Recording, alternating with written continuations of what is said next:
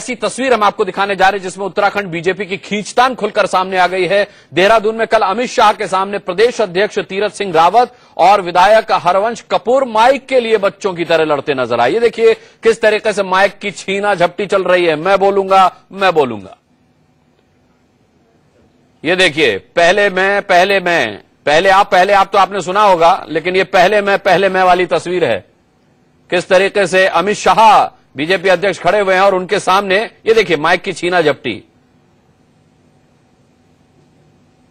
ये अनुशासन की पोल खोलते, खोलती हुई तस्वीरें हैं। अमित शाह ने भी इस पर कुछ टिप्पणी करी है। देख सकते हैं आप तस्वीरों में कि किस तरीके से माइक की छीना झपटी चल रही है।